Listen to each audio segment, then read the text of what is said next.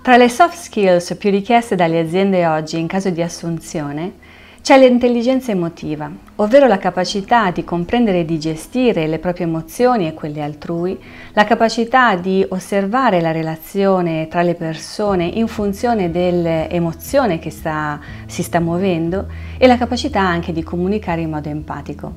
Esiste quindi una riscoperta dell'energia di cuore, ma si nasce con queste caratteristiche o si possono apprendere?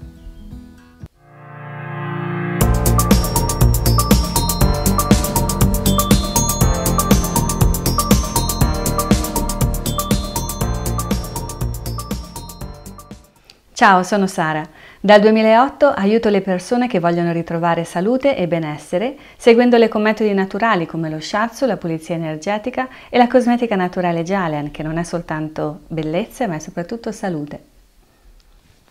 Come abbiamo visto nel video Energia prova di scettico, nell'energia di fuoco esiste il discernimento, cioè la capacità di separare il puro dall'impuro, il giusto dallo sbagliato e comprendere al di là del razionale la situazione.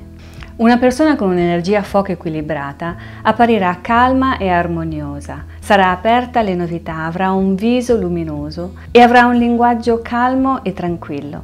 Ti piacerebbe avere un capo così? Esserlo tu? Purtroppo questi sono traguardi che non nascono semplicemente dalla conoscenza razionale, non basta leggere libri o fare corsi di aggiornamento per risvegliare la consapevolezza di cuore. Questi sono successi che si ottengono solamente attraverso lunghi percorsi di crescita in consapevolezza. Bisogna mettersi in discussione come persona a 360 gradi, avere il coraggio di guardarsi dentro con una certa determinazione e severità ed essere disposti al cambiamento. Come diceva Ippocrate 2500 anni fa, prima di guarire qualcuno chiedigli se è disposto a rinunciare a tutto quello che lo ha fatto ammalare ed è tuttora così.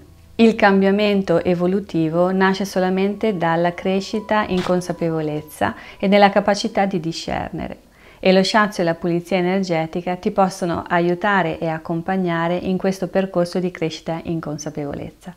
Quindi inizia ora il tuo cambiamento e prenota una seduta con me.